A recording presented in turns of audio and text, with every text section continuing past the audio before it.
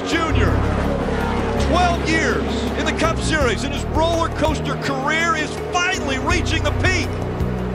Putting an exclamation point on a near perfect season. for Truex Jr.